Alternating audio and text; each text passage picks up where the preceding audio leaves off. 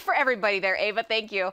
Well, they say work hard, play hard. And sometimes that is to mean that if you put in time at the gym, you deserve a nice little happy hour beverage to celebrate your achievement in fitness. Isn't that right? Our friend, our nightlife correspondent, Sam Slaughter, subscribes to that, right? I do, yes. Um, you know, it's part of a trend. People in gym clothes they're perfectly acceptable. They're going to go places and, and be social. And, and even among the fitness community, they like to have a workout and a happy hour afterwards. Yeah, I think as long as you don't smell, so if you just like wipe off Yeah. or like have some body spray or something so that when you sit down at a bar stool, you're not inconveniencing everyone around you by how you smell. Sure. Unless that's just me.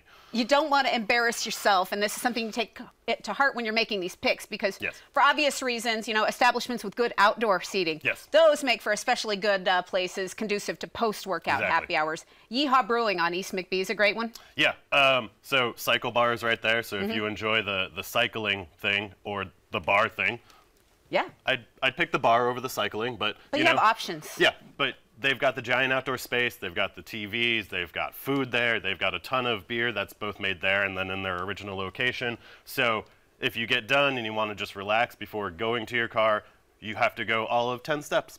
Yeah, and, and you're welcome to sit there, soak in the workout, and just enjoy the successes of the day. Yeah. Um, there's also a bar called Old School Tavern. Yeah. You picked this because it happens to be right next door to your gym. Yes, it is. It's right around the corner from where I go to the gym. Um, I had seen lights down that road for a while, Yeah. going to the grocery store, which is across the street, and eventually one day decided to turn right and see what was there. What a find! There was a bar there, and uh, it's great. It's a very, it's a nice little space. Uh, they've got really good food. Uh, I think th- Thursdays. Yesterday was Thursday. Thursdays they have five dollar burgers. They've got other specials. They've got some comedy shows, which I think we'll hear about a little later. They've got live music a bunch of nights a week. It's Very just a really cool, easy space to be in. They're happy to have you casual too. Yeah. And of course, the Commons. There's no shame in showing up there post-workout where Ava is. You could tell Yeah. all kinds of people are going to sit there, and there's so many places you could enjoy. Yeah, I mean, when you're in, when you're at the Commons, you've got Community Tap there. You've got uh, GB&D if you want cocktails. There's Automatic Taco if you just want some other sort of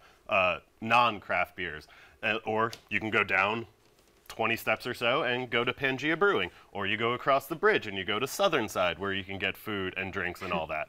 Uh, there are so many different options there. If you're coming off the trail or if you're doing any kind of exercise downtown, uh, it's a short walk away.